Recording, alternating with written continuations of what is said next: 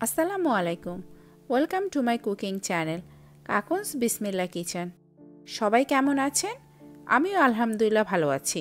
আজকে আমি আপনাদেরকে কাঁচা টমেটোর একটি স্পেশাল ভাজি তৈরি করে দেখাবো।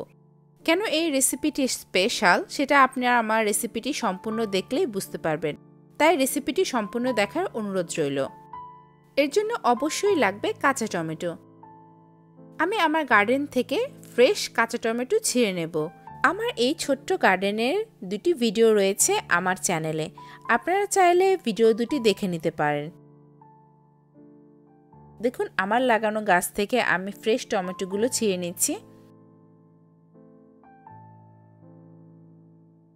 টমেটোগুলো মাসাল্লাহ অনেক বড় হয়েছে।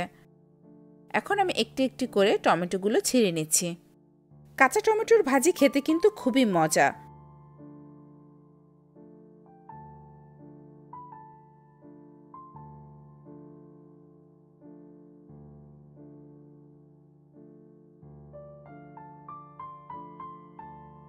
এই তো আমার টমেটোগুলো ছেঁড়া হয়ে গিয়েছে, এখন আমি ধুয়ে টমেটোগুলোকে কেটে নেব।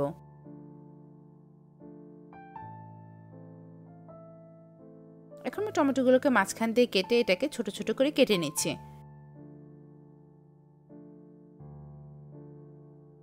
দেখুন ঠিক এইভাবে ছোট ছোট করে কেটে নিতে হবে। এখন আমি সবগুলো টমেটো কেটে নিচ্ছি।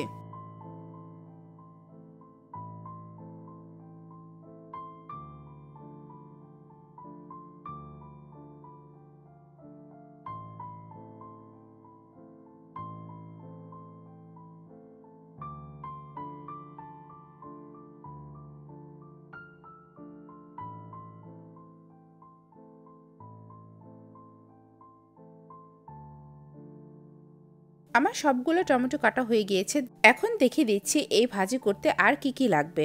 আমি এখানে টমেটো নিয়েছি। নিয়েছি এক কাপ পেঁয়াজ কুচি। চার টেবিল চামচ নিয়েছি সরিষার তেল। আমি এই টমেটো ভাজিটি করব সরিষার তেল দিয়ে। নিয়েছি আধা কাপ ধনেপাতা কুচি। লাগবে পরিমাণ মতো লবণ। আমি এখানে এক টেবিল চামচ নিয়েছি লবণ।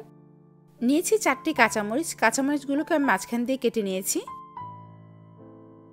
নিয়েছি এক চা চামচ হলুদের গুঁড়া। এই তো, এই উপকরণগুলো দিয়েই তৈরি করব আজকে কাঁচা টমেটোর ভাজি। কেন এটা একটি স্পেশাল ভাজি সেটা আমি আপনাদেরকে এখন বলছি, কারণ আমি এই ভাজিটি করব মাটির চুলায়। আর আমি এই সম্পূর্ণ রান্নাটি করব আমার গার্ডেনে বসে এবং এই সুন্দর মাটির চুলাটিতে। চুলা আমি ফ্রাই প্যান বসিয়ে দিয়েছি আর অপেক্ষা করব ফ্রাই প্যানটা গরম হয়ে যাওয়া পর্যন্ত। ফ্রাই প্যানটা গরম হয়ে গিয়েছে, এখন আমি এর মধ্যে সর্ষের তেল দিয়ে দিচ্ছি। তেল গরম হয়ে গেলে আমি এর মধ্যে এক কাপ পেঁয়াজ কুচি দিয়ে দিচ্ছি। এখন আমি পেঁয়াজ কুচিগুলোকে হালকা বাদামি রং করে ভেজে নেব।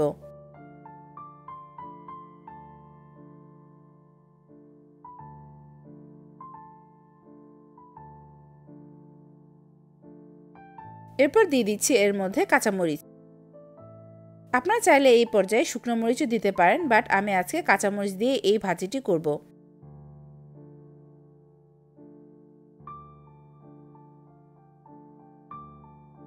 দেখুন, আমার পেঁয়াজগুলো হালকা বাদামি রং হয়ে গিয়েছে, এখন আমি টমেটো কুচি দিয়ে দিচ্ছি।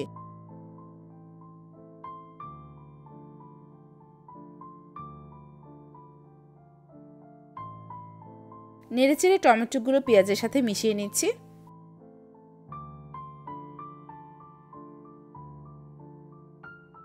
এরপর এর মধ্যে আমি দিয়ে দিচ্ছি হলুদের গুঁড়ো। দিয়ে দেব পরিমাণ মতো লবণ। দিয়ে সবগুলো উপকরণ ভালো করে মিশিয়ে নিচ্ছি।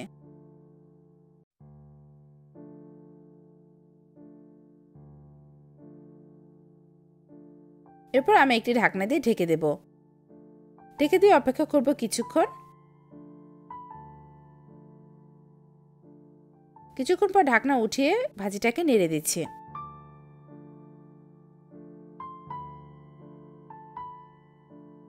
দেখুন, আমার টমেটোতে পানি ছেড়ে দিয়েছে। নেড়ে ছেড়ে ভালো করে মিশিয়ে দিচ্ছি।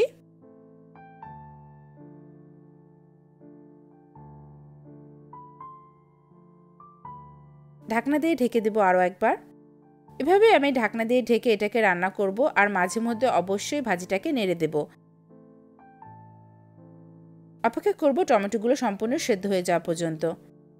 আমার চ্যানেলে মাটির চুলে আরও দুইটি রেসিপি রয়েছে। রেসিপি দুটো হচ্ছে গরুর মাংসের ভুনা খিচুড়ি আর কাচকি মাছের চরচড়ি। আমি ডিসক্রিপশন বক্সে এর লিঙ্ক দিয়ে দেব, আপনারা চাইলেই দেখে নিতে পারেন। এরই মধ্যে আমার টমেটো ভাজি প্রায় হয়ে গিয়েছে। আমি এটাকে কিছুক্ষণ ঢেকে এবং কিছুক্ষণ ঢাকনা উঠিয়ে এটাকে নেড়ে চেড়ে রান্না করেছি। এখন আমি আর ঢাকনা দিব না, আমি এখন ঢাকনা উঠিয়ে এটাকে রান্না করব।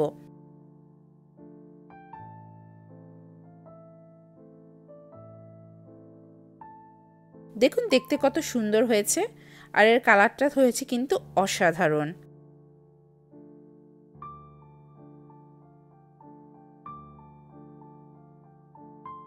এ পর্যায়ে আমি দিয়ে দিচ্ছি ধনে পাতা কুচি। ধনে পাতা কুচি দিয়ে আমি ভালো করে এটাকে মিশিয়ে দিচ্ছি।